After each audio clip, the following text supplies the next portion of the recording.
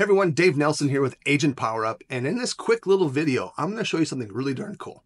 How to add custom cursors. So when you do presentations or you're doing Zooms, you can have a custom cursor like mine. Mine is C3PO's arm, but then when I go over a hot link, it turns into his head. How do I do that?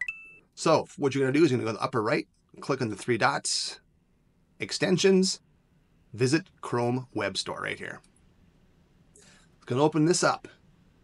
Search extensions, custom, custom cursor for Chrome. There you go. Now, if you're on something other than Chrome, this won't work because this is for Chrome. Here we go. Click on that. Now, I already have this installed, but it's going to say add extension. So you click on that and go through the steps to adding it. Then when it's all said and done, you're going to have this awesome little icon right here. If you don't see this icon and if you have a lot of extensions, if you click this button, you can see all of your extensions that you have. And then if you want to pin it like I have, just hit the little pin button like that.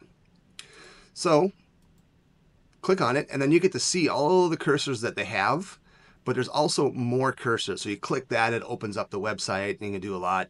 So I, of course, there's some holidays, some jobs, but of course I did some Star Wars. So um, let's bust out wickets here. So you click on it and it's going to show you what it looks like there. And then now when I go off, let's go back to this page. Now I've got that cursor. So super easy, tons of options. We'll click more cursors. It's going to open up this website and then here you go. And then what you do is you just hit add if you want to add them to your, your list.